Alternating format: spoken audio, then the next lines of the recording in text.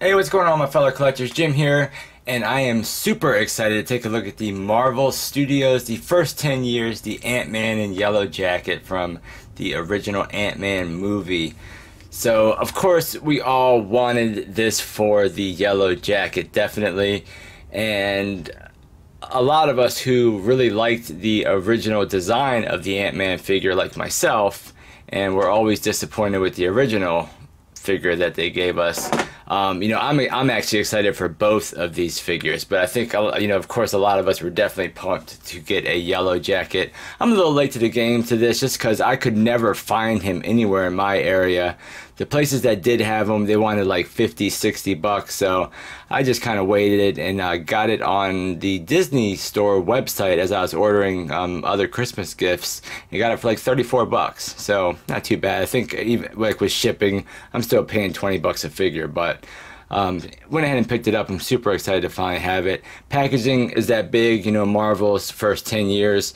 You got both, both figures clearly displayed. You have the uh, uh, Ant-Man there. On the one side, you got 2015 Ant-Man, a little bit of a read up. Get that focus for those of you who want to read that. This is number eight.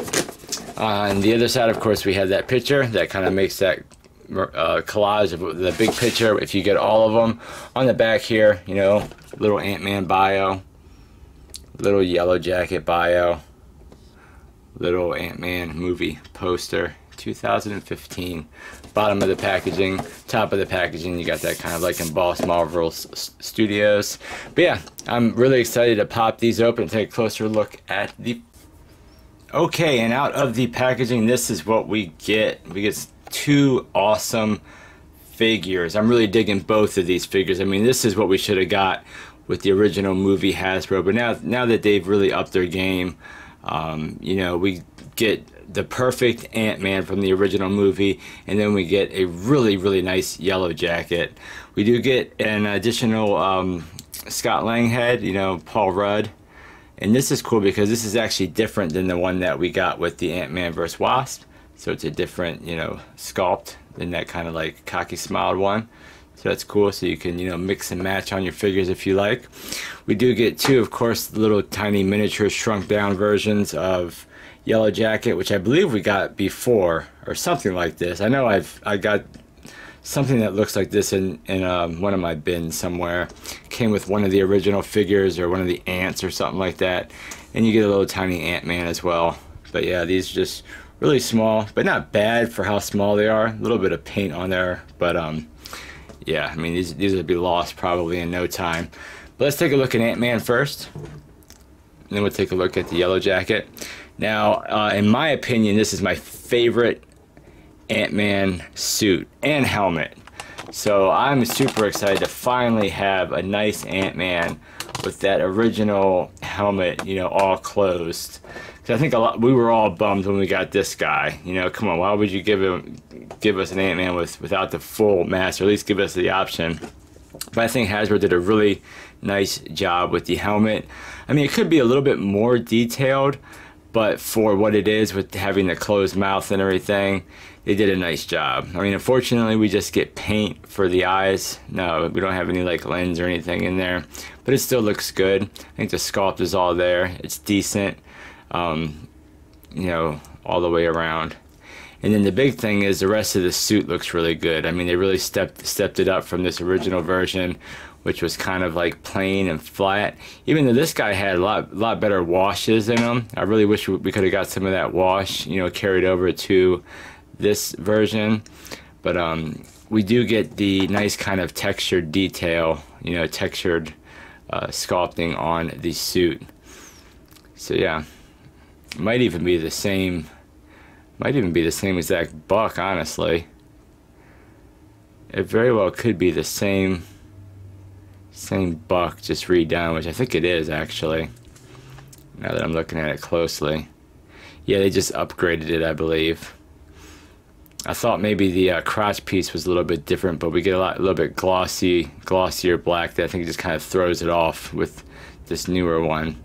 But yeah, it looks to be pretty much the same sculpt, same, even same hands.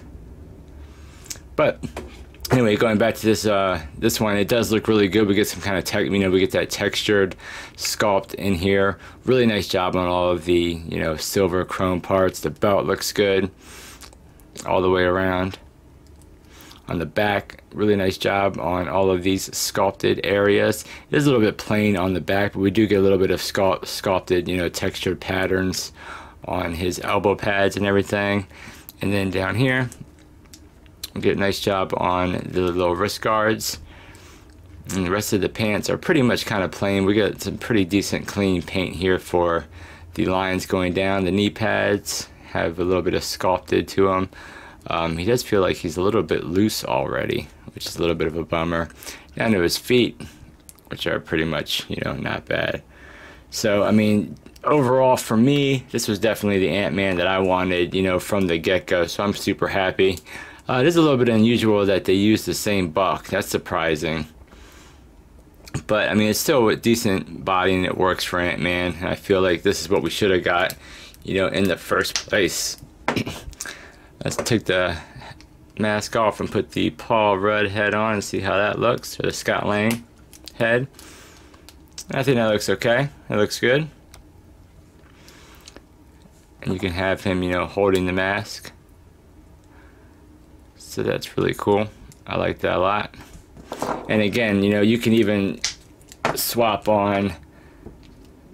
Or, oh, I was gonna say you could, but yeah. Okay, so the one that we got with the Ant-Man and Wasp does fit on him, but it is, you know, a little bit low on the neck. But you can actually get that to fit on there. It just doesn't snap on there. So that's kind of unfortunate. Now I wonder if we can get the original. We'll, we'll get into that. We'll, we'll we'll do some swapping around. But um, overall, yeah, it's a really nice looking Ant-Man figure. Even though it's the same buck, we get a little bit better texture on the outfit. Uh, again, we get that original mask that I think looks really good. I just wish they would have added a little bit more wash like they did on the first one. But yeah, I'm definitely pleased to finally have, you know, the full helmeted um, Ant-Man in the collection instead of having that open mouth one. And I even prefer this one over the, you know, Ant-Man vs. Wasp one or the Civil War version as well. So this is always kind of my favorite, so that's why I'm kind of gushing over a little bit more. But um, yeah, as far as articulation, it's pretty much going to be the same. You got your full rotation, nice down, uh, not so much up really at all. You don't really get a lot of side to side. The arms hinge out about that much. Get full rotation, you get bicep swivel, double jointed elbows, nice range there, swivel, and hinge at the wrist back and forth hinge. You do have the ab crunch, which gives them a little bit forward, a little bit back. You do have your waist twist right above the belt. Legs, you get about, about that much. Kick forward, kick back. You do have a thigh cut in there, which is really tight. Double jointed knees. Uh, nothing at the boot for the foot. You got, you know, the foot that will hinge all the way back. Not so much forward. You might be able to get it a little bit more if you get it up over this kind of you know, shin guard, and then you have your forward facing pin that'll rock it back and forth. So, you know, you're going to get all of your kind of standard Marvel Legend articulation out of it. So, yeah, so let's take a look at the yellow jacket because this guy, I think, is where, you know, why everybody wanted to get this two pack. And, you know, Hasbro, with their amazing marketing team and how they can get us to you know, buy the same figures over and over again or buy two figures for more than $20 a piece. This is why. Because, you know, when they really want to, they can create some great figures. And this Yellow Jacket is a perfect example. I mean, he just looks great. Looks really, really nice with the black and the yellow. Now this backpack piece is a separate piece, so you can take that off. But uh, just taking a closer look at the yellow jacket itself, I think they did a great job with the um, helmet I mean, it really would have been cool if they would have given us a um, uh, open feature or even a head of the actor. But um, you know, we actually have translucent lens here, which is what I really like about this. I wish, wish we could have got that with the uh, Ant-Man. But uh, yeah, it looks really great. Head sculpt looks really, really, really great on this guy. It's a little bit plain in the back and, you know, throughout the other black areas. Not a lot of going on. but on the yellow parts we do get that really kind of like honeycomb effect uh, sculpted in there so it just looks really really nice now some of the yellows are a little bit different. Like you get a little bit of hint down here. You get like some orange. Uh, that could just be a paint defect because that's just on that side not on this side. But I'm looking at it like this looks a little bit different than this. This looks a little bit different than that. So could just be different pieces and how they painted it. But uh, great sculpt great stature great proportions with this guy. Again for him being so plain he just really looks great. He really pops. Um, great detail there. I think it's just all this kind of honeycomb effect with the black and the yellow that really makes this guy pop. He just looks awesome. Uh, we get a little bit of detail down here on his feet. Uh, again we get that really nice you know pattern all throughout his legs. He does come with uh, one fist and then one kind of grab open hand. Again, nice sculpt all throughout his uh, wrist. Yeah, this guy just looks great. Really, really cool. And of course, we do have his, you know, uh, backpack accessory, which is really cool. Get some nice kind of sculpting details on this as well. It is pretty plain, but again, with the yellow parts, we do get, you know, nice, nice color yellow. A little bit sloppy here and there. Oh, let me get him uh, background so we can focus on this yeah, this is really cool. It's just kind of just plugs right in his back, but it also has articulation. So you do get movement here. You get full rotation with the two up at the top. Uh, you get a little wiggle side to side, but I think it's more or less just rotation. Um, down here, we kind of get have hinges that'll bring these in and out, you know, that much. And you can also turn these, you know, all the way around. So that's really neat. That's really cool. And then right here we have a bend so you can bend this part and you can also rotate that part as well. And then I believe that's it. Yeah this, this is all this is all just molded. But I mean you can really kind of bend and pose this thing up quite a bit. So it is really neat that they added that you know articulation to this. I got this twisted around don't I and put this on. It basically just plugs into his back, and once it is plugged in on his back, it really does look good. Uh, it does take a little bit of finagling if you want to get different poses out of it, but just plugging it in straight away, you can you know bend, have this come around. Like I said, up here you don't really get much. You just kind of get rotation, so not a lot. But at least with these, you can kind of like hinge these up and down, bring them forward, wrap them all the way around.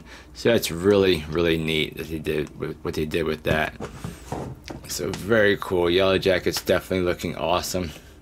And I think in scale with the uh, Ant-Man, he looks good as well.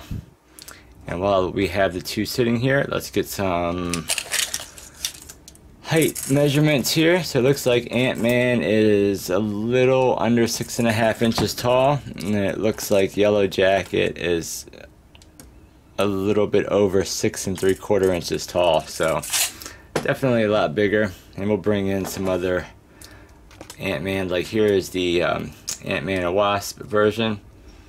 And as you can see, that's a totally different buck that they used a little bit more beefier. Like I said, I, that, that's the one thing that I did not like about this Ant-Man is his head just, his helmet looks so big. And he's a little bit hard to stand as well. Just like the new one. And then we'll bring in the first Ant-Man movie figure which we got. Which again, wasn't a bad figure. I really wish we could have got the wash that we did in this guy and this guy. But um, as you can see, they're all pretty much the same height. But again, I believe these these two share the same body. We just, you know, what we should have gotten. And of course, we do have two new, you know, uh, Scott Lang, Paul Rudd heads that, as I was showing you, you can fit on some and then not others. So yeah, it doesn't the Ant-Man and Wasp version doesn't want to snap on to this this older buck. But if you wanted to you could put the you know calm Scott Lang face on the old buck. Let's see about this one This is oh yeah, that's that's the smirking version that was supposed to come on this figure. Let's see, can we put? So this is this will probably be too um, too small then.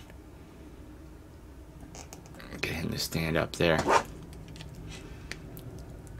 Yeah, it's just too small. I guess if you really wanted to get this head on this body, you could by heating it up, but the ball joint is just too small. But yeah, so yeah, guys, that was a look at the uh, Marvel Studios first 10 years, the Ant-Man and Yellow Jacket action figures from the first Ant-Man movie. Of course, I mean, this has been out for a while, so, you know. But still, I was excited to finally have it it's nice to finally get it into the collection since this was the you know ant-man that i wanted ever since the movie first came out and we originally got that figure but yeah that was a look at the two pack thank you so much for watching don't forget to like comment and subscribe and i'll catch you guys in the next figure review and I just realized I did not show you the articulation for Yellow Jacket. So let's uh, do that. You get full swivel with the head. You get a little bit of a hinge up and down. Not too bad. Um, I wish you could get a little bit more up. That's about, about as far up as you're going to get. You don't really get any tilt. Uh, you do have the, you know, hinged shoulders so you can get his arms pretty much about out that much. That'll go all the way around.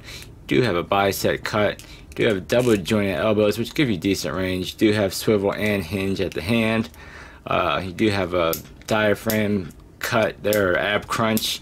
You get nice back, but you hardly get anything forward at all. So that's about the range you get there.